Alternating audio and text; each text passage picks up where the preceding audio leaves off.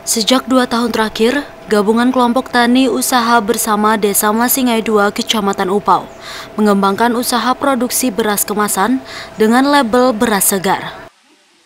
Beras segar dijual dengan kemasan 2 kg dan kemasan 5 kg. Beras segar dipasarkan melalui badan usaha milik desa, serta toko-toko pertanian yang ada di Kecamatan Tanjung dan Murumpudak. Harga jual beras segar tergolong murah, Kemasan 2 kg dijual dengan harga 17.000, sedangkan kemasan 5 kg dijual dengan harga 42.500. Setiap bulannya Gapoktan ini mampu memproduksi beras kemasan siap dijual antara 5 hingga 6 ton yang dibeli dari para petani di Gapoktan Usaha Bersama. Ketua Gapoktan Usaha Bersama Tugiran mengatakan, inovasi usaha ini dapat membantu pendapatan petani padi dengan memotong rantai distribusi.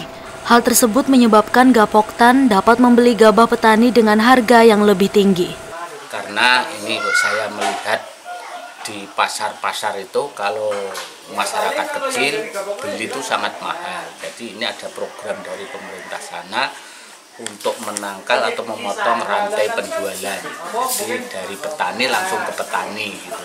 Jadi kalau saya tuh beli gabah ke petani, langsung saya jual ke masyarakat kecil, tidak melalui banyak banyak pos gitu. Tapi karena ini ada program pemerintah awalnya, jadi bisa mengangkat harga gabah bisa menekan harga beras. Jadi kami beli gabah tumbuh mahal, jual beras murah.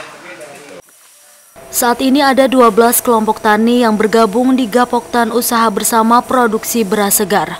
Dengan total jumlah anggota yang bergabung sebanyak 125 orang. Muhammad Aditya, TV Tabalong melaporkan.